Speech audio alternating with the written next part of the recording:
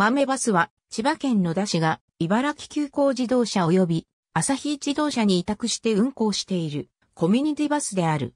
正式名称は野田市コミュニティバスであるが、旅客向け案内では豆バスが多用されている。一般公募から豆、バスという愛称が名付けられた。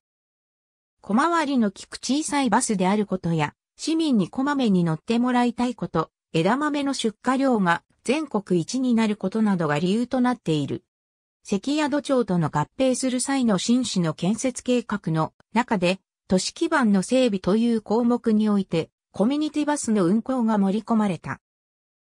その後、合併協議会や、それに伴う住民説明会などにおいて、市民の意見などを取り入れながら、運行計画案をまとめ、実際の運行となった。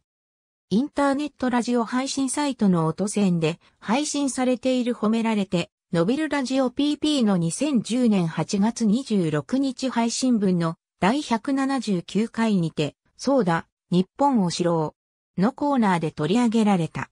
年末年始は全便運休する。2019年4月1日よりルートダイヤの大幅な変更を行った。同時に各ルートに番号が付けられた。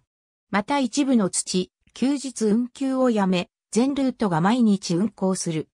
運行は、関宿城、ルート、北ルート関宿、北ルート関宿が、朝日自動車堺営業所、それ以外のルートが、茨城急行自動車の大営業所である。関宿中央ターミナル行き始発便、関宿城博物館行き最終便は、安らぎの里を経由しない。野田病院は平日の一部の便のみ経由する。野田病院は平日の一部の便のみ経由する。キッコーマン病院は平日の一部の便のみ経由する。キッコーマン病院は平日の一部の便のみ経由する。キッコーマン病院は平日の一部の便のみ経由する。キッコーマン病院は平日の一部の便のみ経由する。キッコーマン病院は平日の一部の便のみ経由する。キッコーマン病院は平日の一部の便のみ経由する。キッコーマン病院は平日の一部の便のみ経由する。年末年始は全便運休する。関宿中央ターミナルと市役所を結ぶ路線である。清水公園駅を経由する清水経由と堤台、向山、イオンタウンを経由する堤台経由が運転されていた。1位のホールと市役所を結ぶ路線である。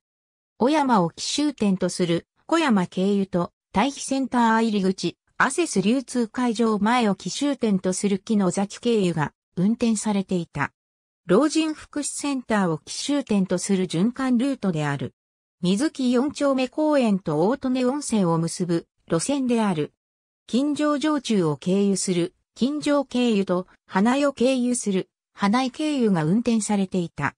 豆バス専用車両が車検などで使用できない際、運行会社のバスによって代走が行われる。代走の様子利用者数は増加傾向にある。2007年9月に利用者が100万人になった。2012年6月3日に利用者数260万人突破。ありがとうございます。